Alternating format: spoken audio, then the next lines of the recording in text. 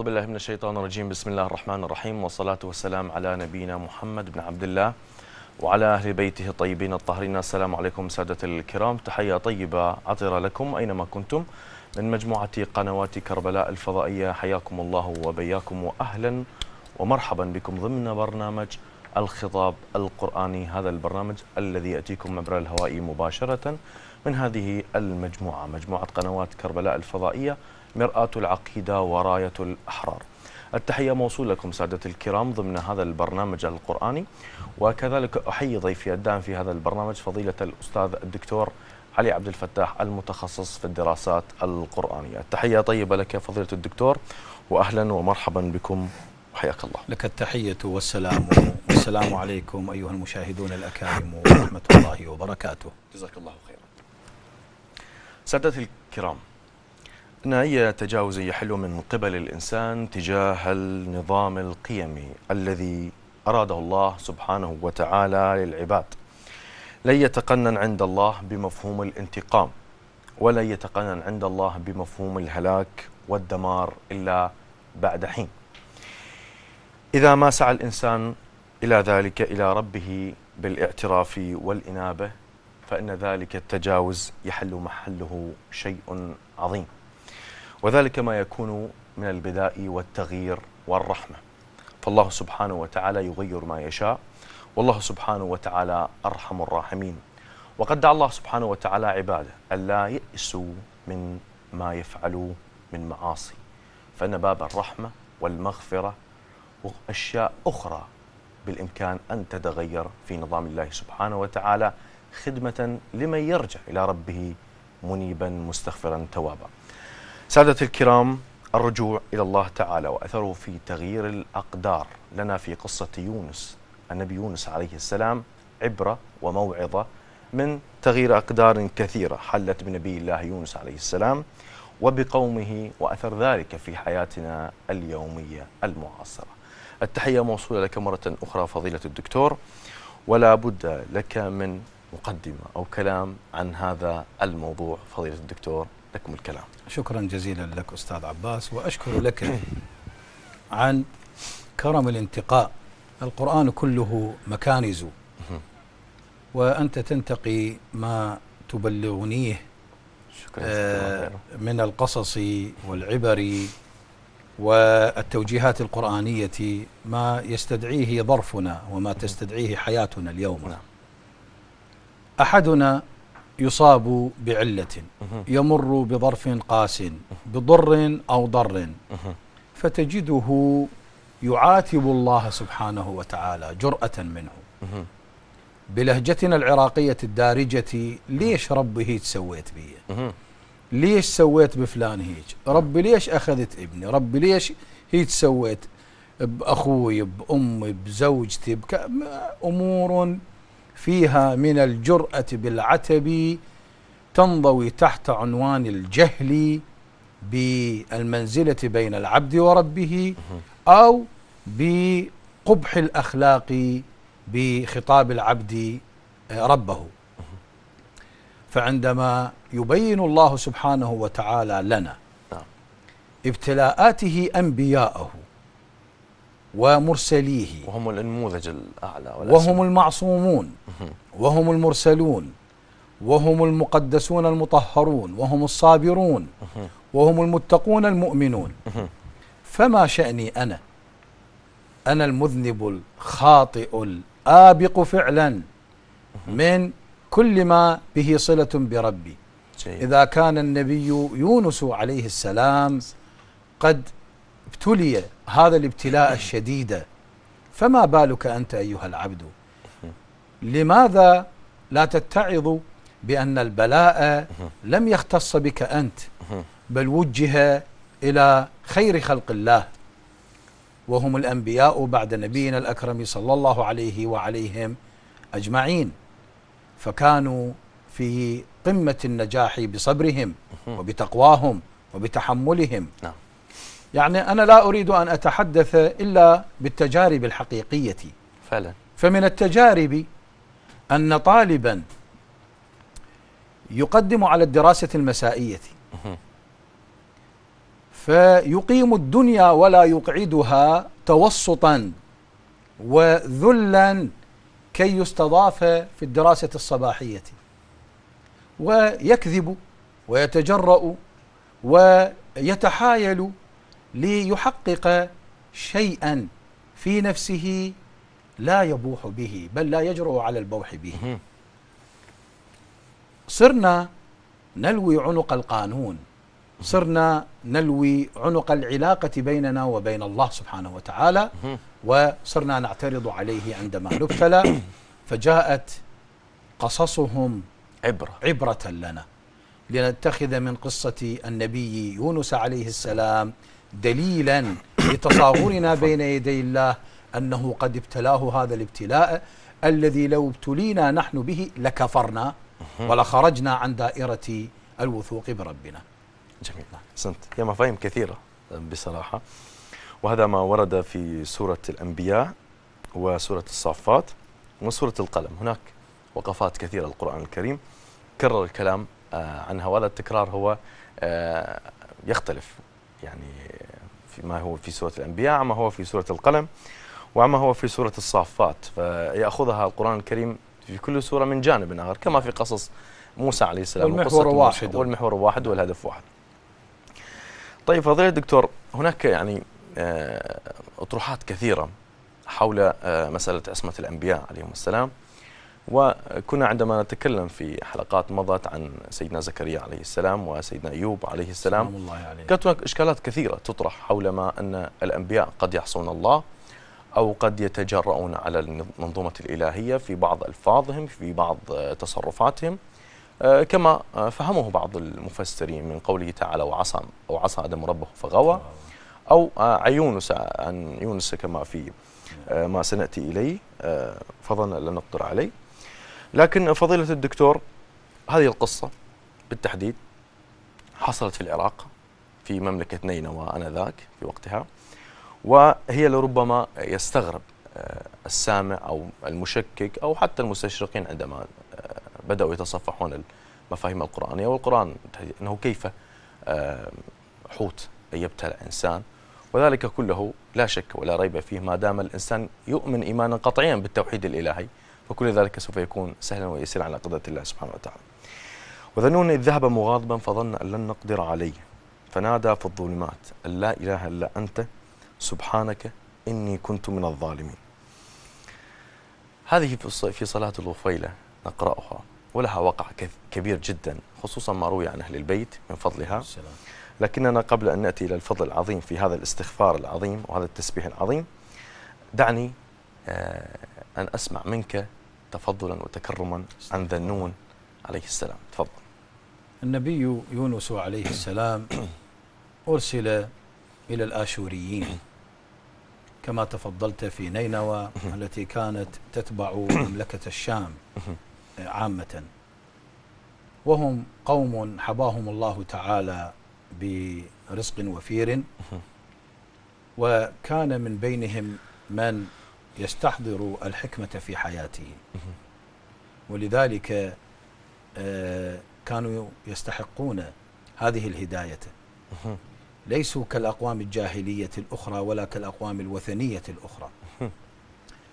نحتوا من الحجارة الكبيرة أصناما لهم أقاموها وعبدوها وجحدوا حق الله سبحانه وتعالى الذي من عليهم بهذه النعم الوفيرة وبهذه الفيوض والعطاءات الكثيرة. نعم. وكان النبي يونس عليه السلام شأنه شأن الأنبياء الآخرين عليهم السلام ناصحا موجها محذرا وما نرسل المرسلين إلا مبشرين ومنذرين. وهو واحد منهم. كان مبشرا ومنذرا نذيرا آه، يبشرهم بأجرهم العظيم إن آه، اتقوا وآمنوا أحسن. وينذرهم العذاب الذي سيقع عليهم إذا ما هم كفروا. إن ثبتوا على جحودهم وكفرهم وينذرهم بالعذاب الخالد الذي ينتظرهم بعد عالم الدنيا. جيد. الآية تبدأ وذنوني إشارة إلى فعل سابق جاء آه، الاسم ذا وهو من الأسماء الخمسة. منصوبا آه، بالألف والنون آه، مضاف إليه. والنون اسم الحوت كما ورد في ما ذهب إليه المفسرون واللغويون في أغلب الكتب والمضان إذا هو صاحب الحوت بمعنى صاحب ذا نعم بمعنى صاحب ذا النون إذ ذهب مغاضبا. إذ تدل على ظرف مضى. وحدث مضى وهذا تذكير من النبي صلى الله عليه وآله بخطاب الله تعالى إليه إلى الناس أجمعين. من أمة النبي محمد صلى, الله عليه وآله أنكم يا من تجحدون فضل الله. وتشركون به ستغضبونني أي سيغضبون النبي محمد محمدا صلى الله عليه وآله كما أغضب الآشوريون النبي يونس عليه السلام. ذهب مغاضبا قد امتلأ غضبا من عصيان قومه إياه. هو لم يغضب عليهم بمعنى أنه آذاهم. أحيانا نقول لقد غضب الأب على الابن فضربه وغضبت الأم غضبت الحاكمة على جاريتها فقطعت رأسها نتيجة أو فضربت. نعم الغضب يذهب بالغاضب إلى ارتكاب الإثم بالضرب وبالإجرام. لكن النبي يونس عليه السلام لم يكن هكذا وأنا أود أن أنبه الناس كلهم.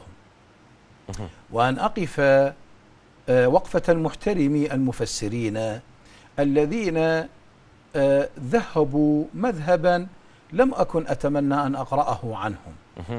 وهو مذهب تقصير الأنبياء عليهم السلام فعلا الله تعالى عندما يختار لا يحتاج إلى مشورة أحد حاجة لله ما كان لهم الخيرة عندما يختار الله وعندما يأمر الله سبحانه وتعالى فإنه يأمر عن علم وحكمة نعم. ويختار عن علم وحكمة. فاختيار النبي والمرسل عليه السلام لا يكون صدفة ولا يكون فجأة يعني ليس كأنا عندما أريد أن أختار عاملا للعمل في بيتي فأذهب إلى ساحة تجمع العمال وأرى شخصا قوي البنية وأقول هذا يناسب. وعندما آتي به إلى موقع العمل أجد خلاف ما كنت أتصور. أجده مضطم على أمراض مزمنة وطارئة كثيرة جدا. ظاهره ليس كباطنه. بحيث إنه عندما يبدأ يعمل يقع مباشرة لأنه قد أصابه الإعياء واشتد عليه المرض ولكنني تركت شخصا ذا جسم نحيل أو رشيق أو ذا بنية آه، بسيطة متوسطة أو صغيرة ولكنه جاهد في حركة. كان مملوءا بالحيوية والنشاط لصحته. جعل الله تعالى الجميع بصحة وعافية. آمين. عند. ذاك أكون قد أخطأت الاختيار لأنني قد آه، غرني المنظر وليس لي حكمة ولا لي علم بما يطم عليه صاحب البنية الذي اخترته. أما في منظومة السماء؟ الله تعالى لا يسري عليه هذا الوصف. هذه. من الصفات السلبية على الله سبحانه وتعالى. الله عالم وليس بجاهل. الله حكيم وليس بمتسرع ولا متردد. يقول عن حكمة يأمر عن حكمة ويختار عن علم. فالنبي الذي يختاره لا يخطئ أبدا. والابتلاء الذي يبتلاه إنما يكون لعلة وتسبيب إلهي. لإعلاء شأنه صابرا. الله تعالى بالتفضيل. نعم الله تعالى اختار النبي يونس عليه السلام وابتلاه بمغادرته قومه. نعم. هذه المغادرة أفضت في لاحق من الأوقات إلى ضجيجه بالتسبيح لله سبحانه وتعالى. فصار من المسبحين. فضيلة الدكتور ويود كلامك كذلك رتبة أخرى نعم. في سورة القلم. يقول تعالى فاجتباه ربه فجعله من الصالحين. أحسنت. كيف يكون مجتبى كيف يكون صالحا لولا أنه قد نجح في الاختبار الذي مضى الذي كان ممكن أن يكون درسا لنا أحسنت. أن الإنسان عندما يضع في الاختبار يوضعه الله في الاختبارات قد يفسد نعم. إيمانه أصلا فنحن عندما نصلي مثلا صلاة الغفيلة. نتصور ونحن نقرأ فظن أن لن نقدر عليه مهم.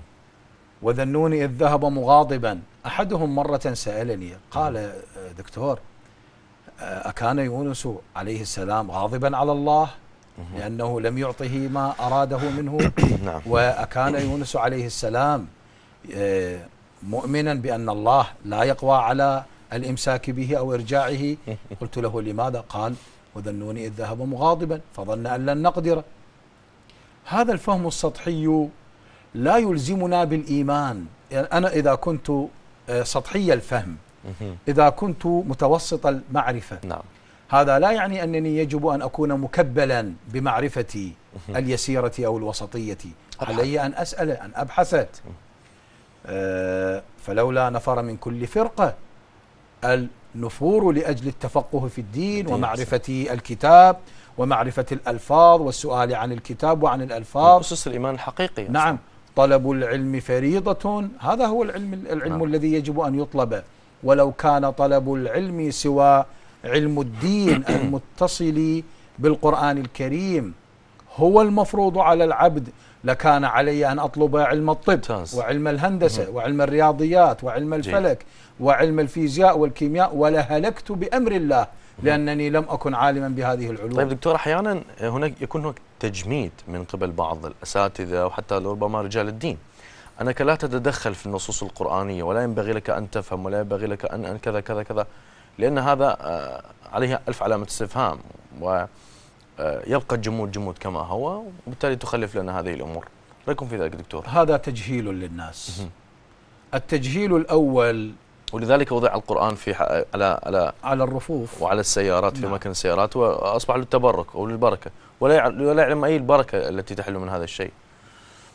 التجهيل الأول أن يحذر الإنسان من الولوج في القرآن الكريم قراءة وطلبا للفهم أو قولا بما يفهمه ربما هي سي- سياسة شيطانية أحسنت. تكون.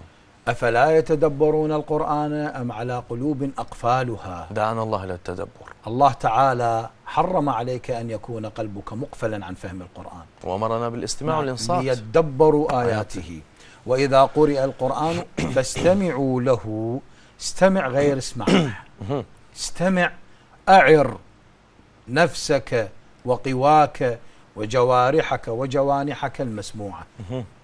تحصل على الأثر القيم نعم وأنصتوا بعد الاستماع يأتي الإنصات وهو الدرجة وهي الدرجة التي. الإنصات هو الدرجة التي تمكن المنصت من الإفادة مما يستمع إليه.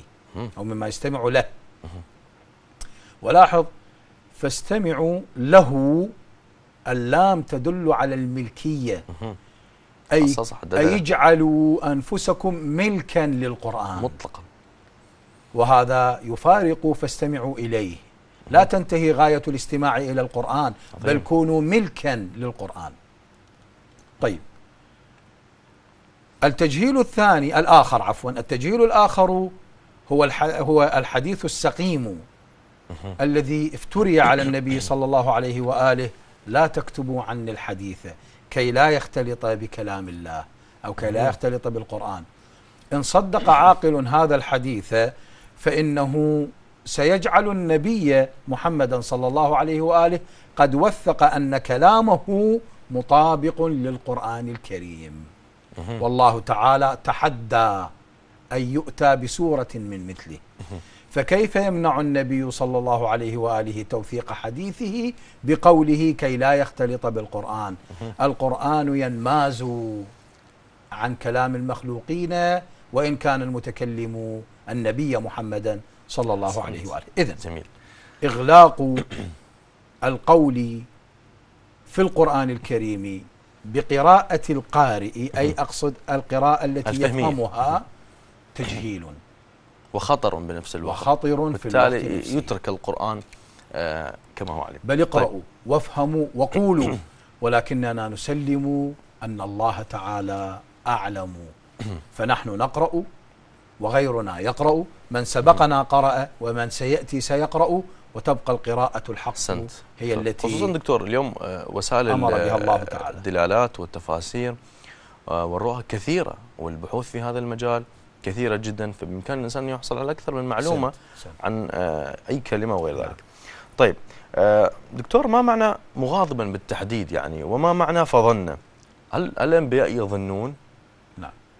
لاحظ. وأنت تعلم أن الظن يأتي أحيانا لتشكيك في أمور. تفضل. طبعا مغاضبا على وزن مفاعل. مفاعل.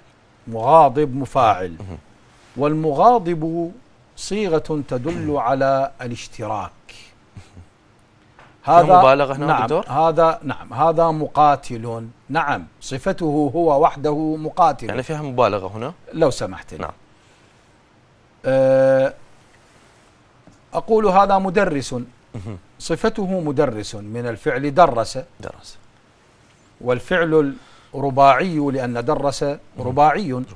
يتألف من أربعة أحرف هي الدال والراء. والراءان والسين. سين. فاسم الفاعل منه على وزن آه، أو بصيغة مضارعه مع إبدال الحرف الأول ميما مدرس. هذا قد غضب فهو غاضب. هذا يغضب فهو مغاضب. من المشاركة فالذي يغضب يغضب بصفته هو. نفسه. أما الذي يغاضب فقد أثير فاستثار. جميل. فثار. جميل. فإذا ثمة جهة أخرى قد أغضبته فغضب. فغضب النبي يونس عليه السلام كان لله والذي أغضبه هم. قومه. أحسنت. فالمغاضب هو الذي يأبى فعلا ممجوجا قبيحا صدر من مقابل. بفهم أسهل كان ثائرا لله. أحسنت. فغضبه كان لله سبحانه وليس على الله وتعالى. كما يظنون. كخوف النبي موسى عليه السلام. فأوجس في نفسه فأوجس في نفسه خيفة هو لم يخف. من سحره. منهم خوف الخشية على نفسه. بل على قومه. بل خاف من خاف على خاف اولا إيمانه. خشية لله سبحانه وتعالى. خاف تقوى عظمى بين يدي الله. وخاف على قومه من الضلال جميل. ومن الضياع. وخاف أن يتفاخر الأعداء بانتصارهم عليه عظيم. بسحرهم. جميل. إذا هو لم يخف منهم. بل كانت خشيته وخوفه لله وعلى القوم. صار المعنى كلش واضح. أحسن. خشية أن يصدقوا هذا السحر فيتركوه فيتركوه فيتركوه ثم يؤيدوا الساحرين. طيب. هذا المعنى واضح فضيلة الدكتور. فظن الظن لا يعني الشك أبدا. إنما. في ال- الدلالة يحكمها المقام. السياق. السياق. مقام اللفظ ومقام النص ومقام الجملة. هو الحاكم تمام. على دلالته. جيد. ظننت السراب ماء. هذا شك.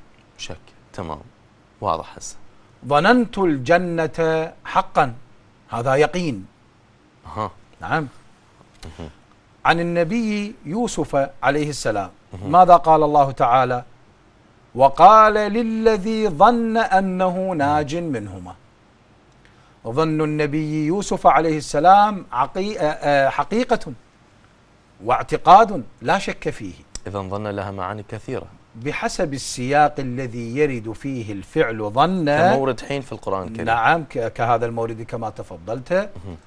آه آه المنذرين والمنذرين. كما أرسلنا فيهم منذرين. هؤلاء أنبياء وهؤلاء فانظر كيف كان عاقبة المنذرين. هؤلاء الحر- الأنبياء وهؤلاء الحركة جعلت الدلالة مغايرة. إذا المقام يجعل دلالة اللفظ متغايرا. فظن ال أنه أي اعتقد اعتقادا يقينيا لا شك فيه بل لا ريب فيه. ماذا ظن؟ أي ماذا اعتقد؟ أن لن نقدر. أن هذه أن التمهيدية التفسيرية ال للتي بعدها آه، تهيئية. لن النافية التي ذهب اللغويون إلى؟ إلى إفادتها التأبيد. أها. وإن تفيد كنت- التأبيد ماذا تقول فيها؟ يقولون لن تفيد التأبيد. أنا برأيي أنها محكومة بالسياق أيضا. أقول لن أقوم. هذا لا يعني أنني لن أقوم إلى الأبد. فإنني في لحظة ما س يعني إشكالكم دكتور؟ إلى في كلمة الأبد. لا تفيد الأبد مطلقا إلا بحدود سياقها. تمام. هنا ماذا تفيد؟ آه، فإن لم تفعلوا في قوله تعالى فإن لم تفعلوا ولن تفعلوا فاتقوا. فاتقوا النار التي وقودها الناس والحجارة. هؤلاء لن يفعلوا إلى الأبد. ها هنا تفيد التأبيد نعم تفيد التأبيد. لكنها لا تفيد التأبيد بالمطلق. بل بحسب موردها كما قلت شيء. إني لن أقوم هذا لا يعني يعقل أنني لن أقوم إلى الأبد. طيب فظن أن لن نقدر هذه تأبيدية لماذا؟ لأنه رسول ولأن إيمانه يقيني ولأن ظنه يقيني بما ظن أو ما, ما الذي ظنه.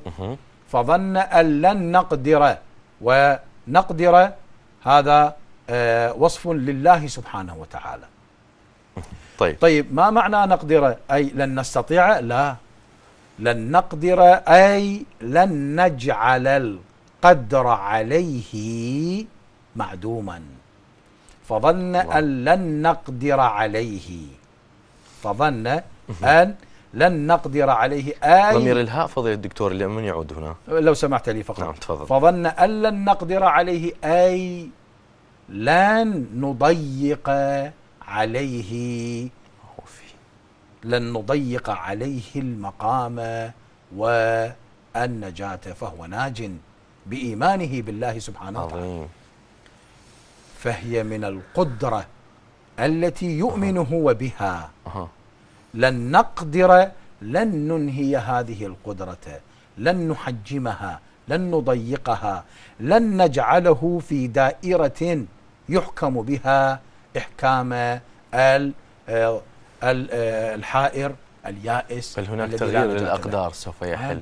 في ذلك طيب دكتور لا تسمح لي آه، سيد المخرج يشير إلى هناك فاصل وبعده إن شاء الله نواصل معك تتمة الحديث إن شاء الله وما تبقى لدينا من سورة الصافات وسورة القلم عند سورة الأنبياء سادتي الكرام ابقوا معنا ولكن بعد فاصل قصير ولنا عودة معكم إن شاء الله تعالى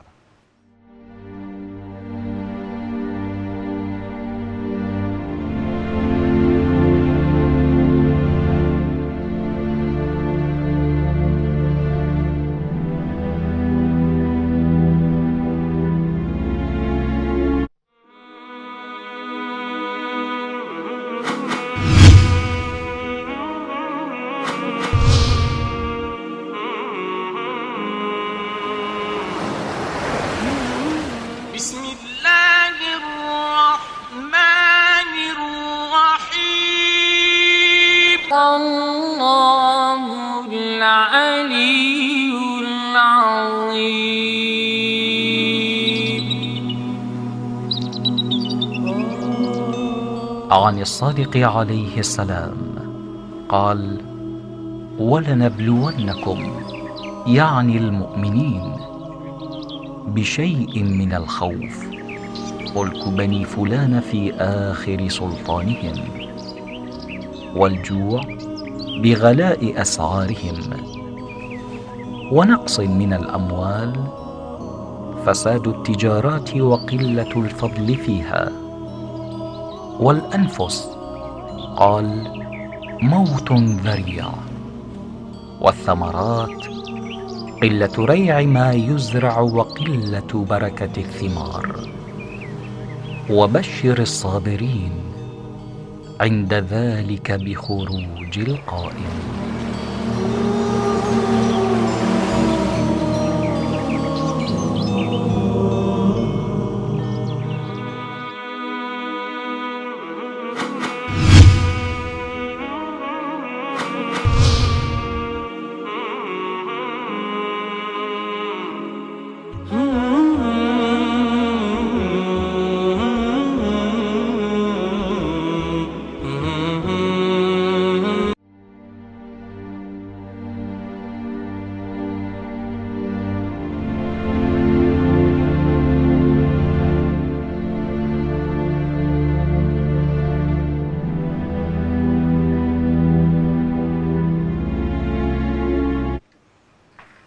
السلام عليكم سادة الكرام. مرة أخرى أحييكم أطيب تحية. وعنوان حلقتنا لهذا اليوم في برنامج الخطاب القرآني الرجوع إلى الله تعالى وأثره في تغيير الأقدار. أحيي ضيفي الدام في هذا البرنامج فضيلة الأستاذ الدكتور علي عبد الفتاح. تحية طيبة لك. التحية والسلام والأمان. أحسنتم فضيلة الدكتور. آه قد انتهينا آه قبل أن نأخذ الفاصل إلى آه نقطة أساس وهي لن نقدر عليه. وشكرا لك لكل ما تفضلت به من توضيح سامن. وهذا ربما آه يحتاجه كثيرون عندما آه تكون هناك صلاة الغفيلة. فحتى لا يمر الإنسان أو المؤمن أو المصلي على هذه النصوص القرآنية مرا أرضيا لا انتباه له. مرا مرا خاطئا. خطأ يخطئ فيه فبدلا أن. يصلي ويتيقن من نزاهة وعظمة الأنبياء تتاب هذه الكلمات للتشكيك. فجزاك الله خيرا. فنادى في الظلمات أن لا إله إلا أنت سبحانك إني كنت من الظالمين أثر التسبيح. في الظلمات. وما هي القراءة للظلمات؟ تفضل دكتور. آه، حتى نقف على العبرة إن دكتور النتيجة الرئيسة من غضبه لله تعالى ومن عقيدته بأن الله تعالى لن يضيق عليه هذه الأرض الواسعة وأنه سينقذه من العقاب الذي سيحل بقوم هذه الأرض التي لم يستمع أهلها إليه ولم ينصتوا إليه نتيجة ذلك كانت نداءه في الظلمات هذه التي تبينها لنا نصوص أخرى أخر مهم. قد وردت في آه، سور أخرى مهم. كسورة الصافات. فالتقمه الحوت حوت. وهو مليم. فلولا أنه كان من المسبحين للبث في بطنه إلى يوم يبعثون. وفي سورة القلم. آه، ولا تكن كصاحب الحوت إذ نادى وهو مكظوم لولا أن تداركه نعمة من ربه لنبذ بالعراء وهو مذموم هذه الآيات عندما تجمع بإطار الموضوع الواحد نستنتج والفهم الموضوعي الواحد نستنتج أن يونس عليه السلام النتيجة الكبرى لتقواه ولغضبه لله تعالى كانت آه، إعلانه المتواصل بالدعوة. وهو في هذا الابتلاء. في الظلمات التي يمثلها بطن الحوت. وعمق البحر وظلمة الليل. وغيابها عن الأرض. البر. عد نعم. البر بالتحديد ابتعاده عن الضوء ابتعاده عما خلق هو خلقة طبيعية ليكون عليه وهو اليابسة. ما كان نداؤه؟ كان نداؤه أن لا إله إلا أنت توحيد. سبحانك. هذا لا يقوله ظان بربه. حاشا لله. أي شاك إذا هنا توازنت المعادلة نعم هذا لا يقوله إلا المعتقد المتيقن وذو اليقين القاطع. لا إله إلا أنت سبحانك. نزه الله. سبحانك أي أنا أنزهك. أنزهك أن تكون قد ظلمتني. الله. هو في بطن الحوت. في عمق البحر في ظلمات متراكمة وكأنه بعبارة ضمنية إيحائية يشكر لله تعالى أنه هنا. لماذا يشكر له؟ لأنه يؤمن أنه بعين الله. لذلك أيها العليل أيها المريض أيها المبتلى أيها السجين أيها الأسير يا من لم ترزق بطفل إلى الآن بعد سنوات أو سنين قد خلت. أيها المطلوب دينا كبيرا. لا تيأس من رحمة الله. سنت. ماذا كنت تقول لو أنك كنت محل النبي يونس عليه السلام؟ وقد ابتلعك حوت في عمق محيط في جوف الليل. أكنت تتيقن من أن الله تعالى قريب منك تناجيه تناديه فنادى. في الظلمات هذا النداء لا يكون إلا من مؤمن. إذا عندما نادى كان متسلحا. بالمقدرة الإلهية كان متسلحا. ومتيقنا. كان في كامل منظومته الإيمانية بالله. وقد نزه الله تعالى بالتوحيد. نعم بأنه لن يخطر في باله أن ابتلاءه هذا إنما جاء عقابا له. إنما هو ابتلاء اختبار ابتلاء صبر وابتلاء مباهاة إلهية.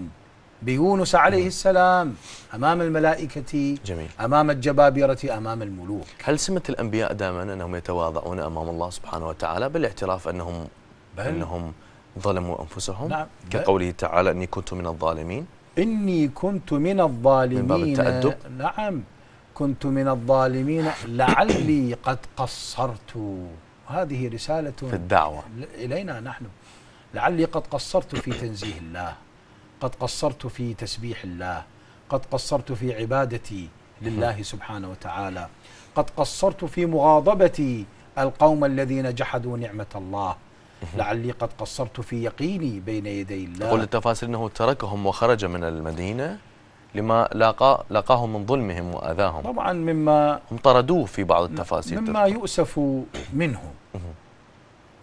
أن الآيات الكريمة أو أن الآيات الكريمات توحي بأن توحي طبعا بالفهم السطحي. أن النبي يونس عليه السلام آه، قد آه، اختل نظام آه، منهجه في الدعوة. أو تململ من الدعوة. أو أو ضجر ويئس وسئم قومه فتركهم. ولم يبق معهم لذلك عوقب بهذا هذا يعني ليس بمقبول مطلقا. إنه مرسل. والرسول لا يكون رسولا. يحسم ذلك النص القرآني وكذلك ننجي المؤمنين. يفقه ما يفعل. نعم. النص القرآني يحسم ذلك دكتور وكذلك فاست- ننجي المؤمنين. نعم. فاستجبنا له. طبعا قراءة أخرى لقوله تعالى عن عن آه، بلسان حال النبي يونس عليه السلام إني كنت من الظالمين. إن قومي اتهموني بأنني قد ظلمتهم بالدعوة إلى التوحيد. وفعلا هو هذا حصل. معه وهذه ال- هذه الآيات. شأنهم شأن ما لاقاه شعيب عليه نعم، السلام عندما كان يعني يستهزئ أنا بقومه دائما أود أن أؤكد جميل هذه الالتفاتة دكتور. مسألة قراءة الضمير. في النص القرآني. يلعب دورا أساسيا يا أيها المسلمون يا أيها المستشرقون اقرأوا الضمير في القرآن قراءة فاحصة. طيب دكتور إذا كان غائب صعب من القراءة يعني. علي أن أقرأ بمنظار أن الرسول نزيه ومنزه. فكيف أفهم الظالمين يعني إذن؟ قراءة استقامية نستطيع نعم. أن نقول عنها أحسنت. أنا أريد أن أقرأ كلمة الظالمين بمنظار يعني سبحانك إني كنت من الظالمين. بمنظار يعني, أن يعني أنا لم أكن من الظالمين بمنظار أنه من المخلصين. وإن عباد الله المخلصين لا سلطة للشيطان عليهم أبدا. وإذا كان النبي يونس عليه السلام من الظالمين فإذا كان قد أرضى الشيطان بظلمه غيره. وهذا محال. محال. الظلم لا يكون إلا صنيعة ترضي الشيطان. سواء أكان الظلم ظلما نفسي. أو ظلم الآخر.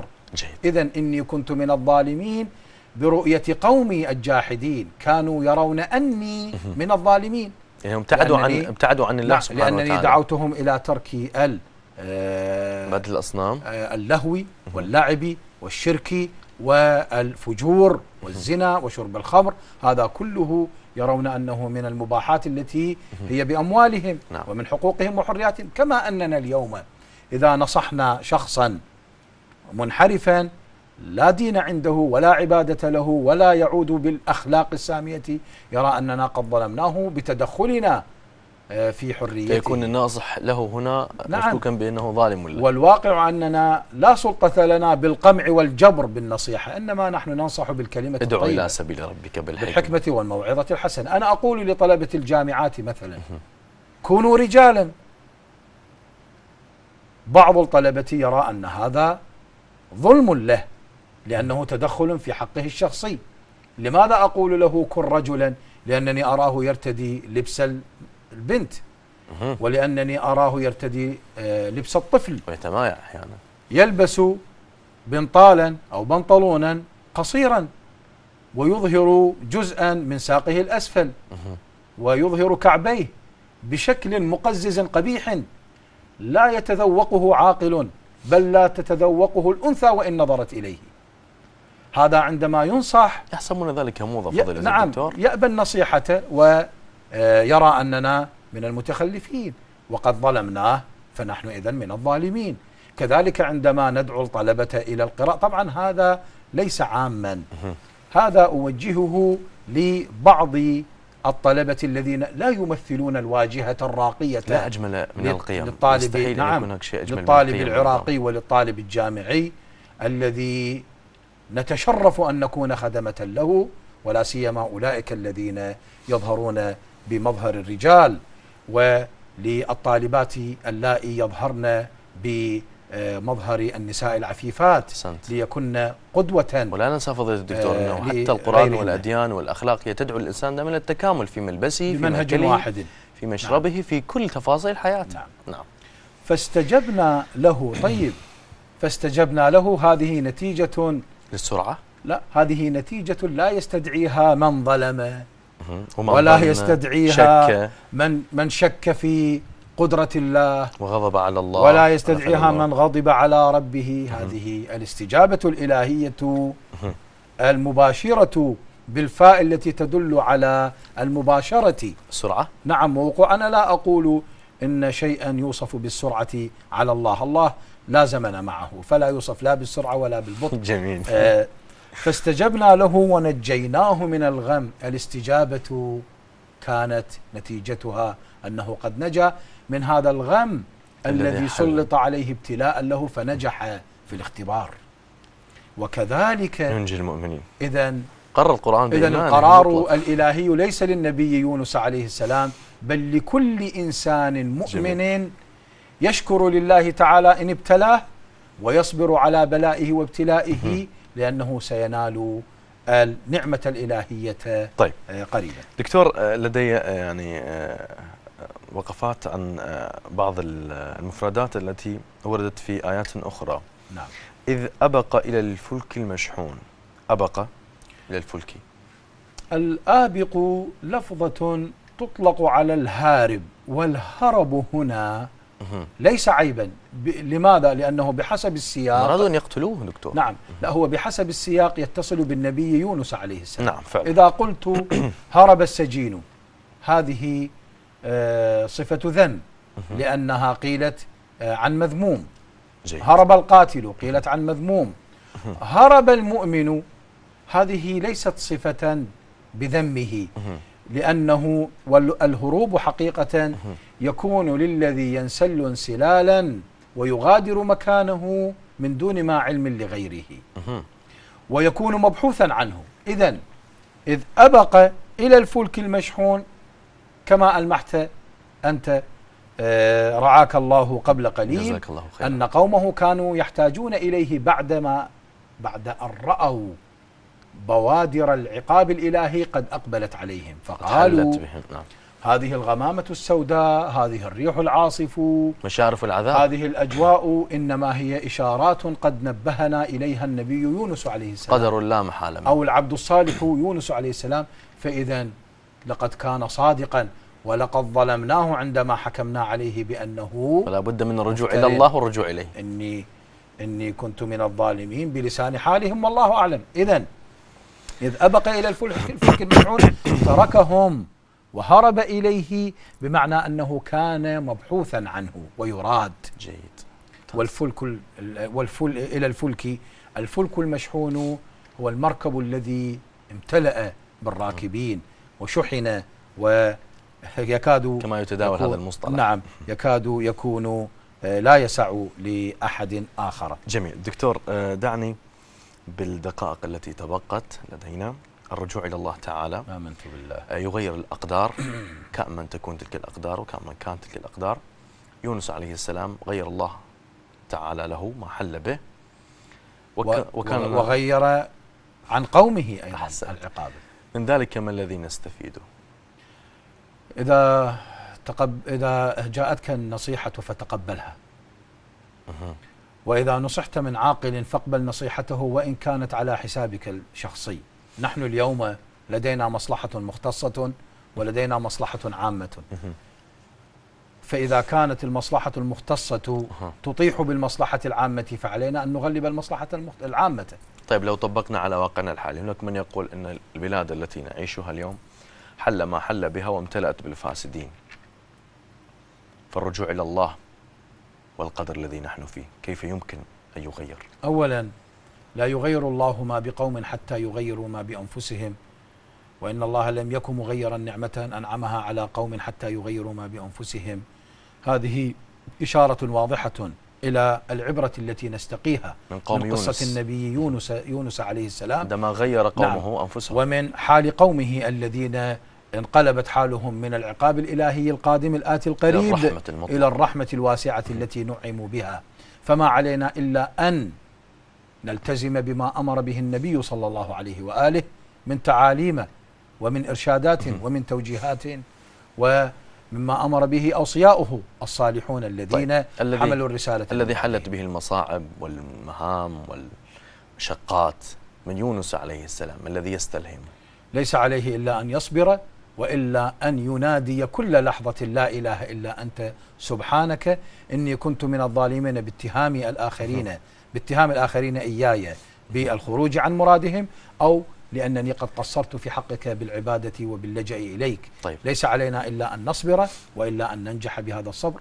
وهذا لا يكون إلا بالقناعة وباليقين المطلق بأن الله تعالى قريب كثير. دعوتنا. من الذين أسرفوا على أنفسهم. وحلت بهم المعاصي وتجروا على المنظومة القيمية لله سبحانه وتعالى التي أرساها الإنسان لكي يكون متكاملا. فبالتالي هو يقول أنا أنا أذنبت خلاص وأنا سائر في هذا الطريق إلى الهاوية. قل يا عبادي الذين هذا يأس. هذا يأس. قوامه أنه لا يؤمن بقدرة الله تعالى أن تكون منقذة له. ولذلك هؤلاء يقنطون ويقنطون. وهؤلاء علينا أن لا نرافقهم. أعجبتني آه، كلمة من أحد الأخوان العرب آه، قال لا تصاحب المثبطة ولا المحبطة لأنه يضيق الدنيا أمامك. فإن قال لك لا تفعل هذا لا تقم بهذا لا تقبل على هذا فإن هذا فاشل يريد أن يحبطك ويثبطك عن عزيمتك. وباب الله مفتوح اتركه وتوكل على الله. التوكل على الله مفتاح النجاح. فضيلة الدكتور علي عبد الفتاح شكرا جزيلا لك ولكل ما تفضلت به لك الله الشكر. سبحانه وتعالى يجعلنا دائما من الراجعين إليه إن شاء الله. شكرا. إن شاء الله. شكرا. مشاهدينا الكرام أستودعكم الله والسلام عليكم ورحمة الله وبركاته.